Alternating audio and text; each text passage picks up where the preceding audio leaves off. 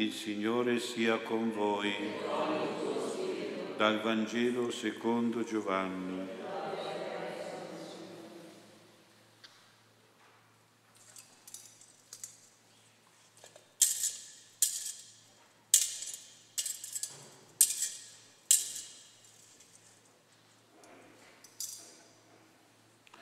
In quel tempo Gesù disse ai suoi discepoli, in verità, in verità vi dico, se il chicco di grano caduto in terra non muore, rimane solo. Se invece muore, produce molto frutto. Chi ama la sua vita la perde e chi odia la sua vita in questo mondo la conserverà per la vita eterna. Se uno mi vuole servire, mi segua, e dove sono io, là sarà anche il mio servo. Se uno mi serve, il Padre lo onorerà. Parola del Signore.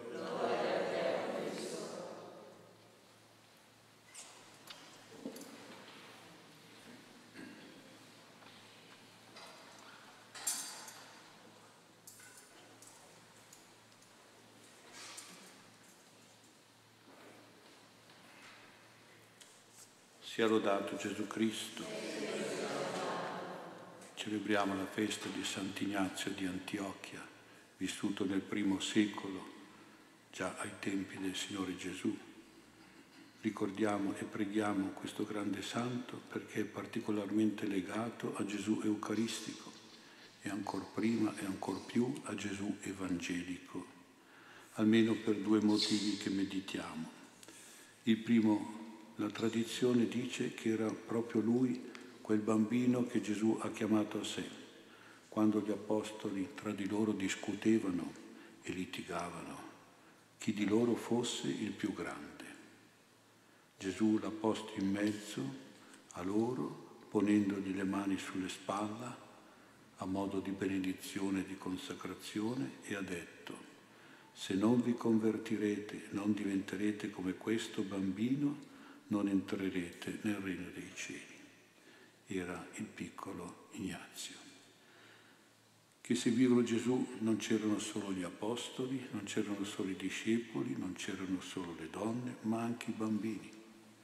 I bambini erano affascinati e attirati dai modi paterni e materni di Gesù, perché Gesù esprimeva proprio tanta paternità e tanta maternità e questi bambini a quei tempi erano molto orfani, erano orfani tante volte in modo materiale, concreto, fisico, ma erano anche molto orfani spirituali, a parte che ce ne sono anche oggi di tanti bambini che hanno la famiglia ma vivono come da orfani di un padre e di una madre, o dell'uno o dell'altro.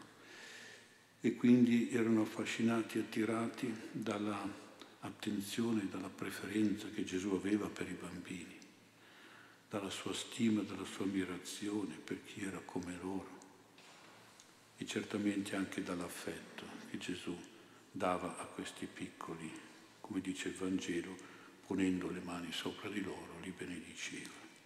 Ignazio era quel bambino, quel bambino chiamato da Gesù in mezzo agli apostoli, forse era il prediletto di Gesù, il più affezionato a Gesù, il più amico di Gesù, il più credente in Gesù, diciamo il più vicino, tanto che Gesù l'ha chiamato e subito era lì, in mezzo.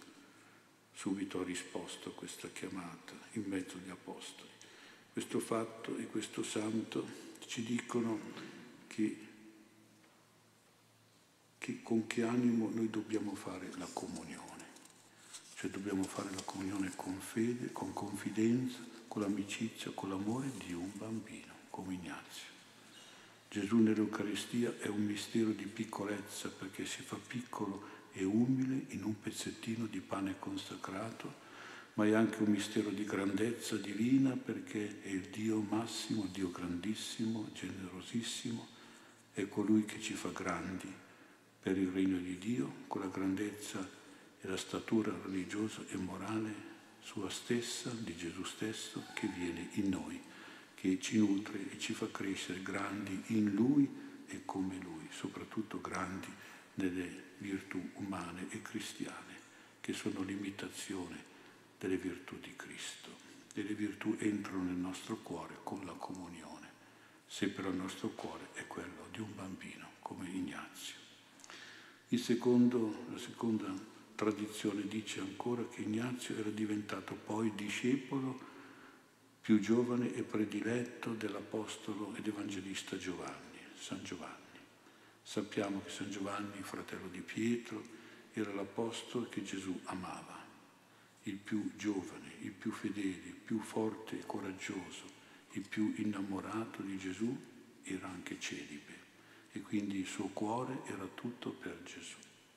È quel discepolo che durante l'ultima cena, essendo accanto al Signore, nel fargli una domanda ha posato il capo sul cuore di Gesù.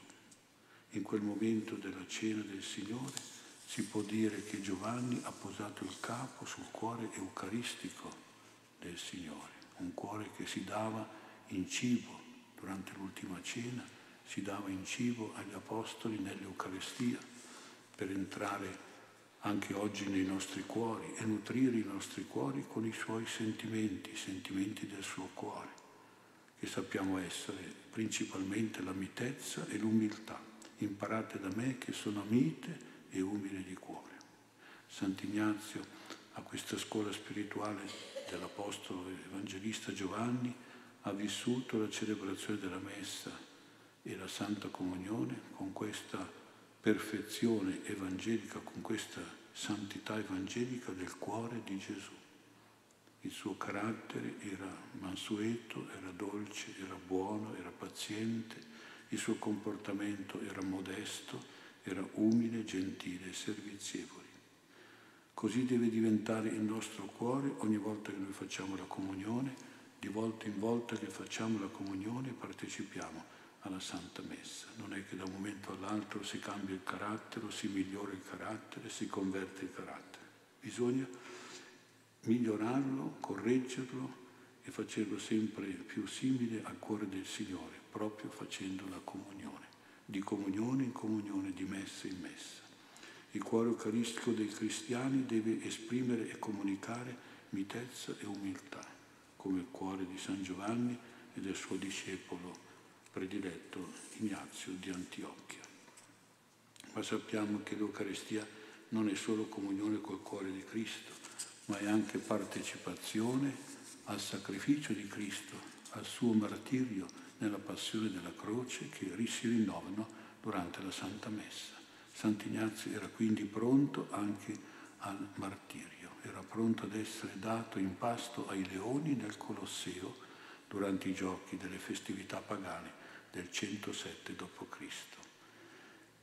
Interpreta il suo martirio in chiave eucaristica, dicendo e facendo scrivere, perché aveva le mani legate, di essere strumento di Dio macinato dai denti delle fiere, dei leoni, per diventare puro pane di Cristo. È bella questa immagine, questo essere macinato dai denti dei leoni, delle fiere.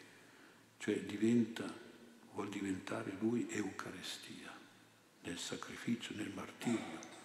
Come i semi di frumento, dice Gesù, sono macinati per diventare farina che fa il pane, così un cristiano deve accettare la comunione, ricevere il pane del corpo di Cristo macinato, cioè offerto in sacrificio per noi. Già il frumento è frutto di un morire, ci ha detto nel Vangelo Gesù, è conseguenza della morte del chicco di grano. Quindi noi siamo cristiani eucaristici se sappiamo accettare di morire per la fede in Dio e per l'amore al prossimo, se sappiamo impostare tutta la vita come sacrificio, come servizio, come rinuncia a noi stessi e come donazione agli altri. Allora chiediamo a Sant'Ignazio di aiutarci ad essere veramente anime eucaristiche, cioè a partecipare alla messa, a ricevere la comunione, anzitutto con un cuore da bambini, miti e umili, perché così il nostro cuore è veramente grande agli occhi di Gesù e poi anche con un cuore pieno di amore al Signore, capace di sacrificio per il prossimo. Sant'Ignazio come vescovo era pieno di amore pastorale per le anime, come martire era pieno di generosità sacrificale. Solo pienezze eucaristiche che dobbiamo avere nel nostro cuore anche noi.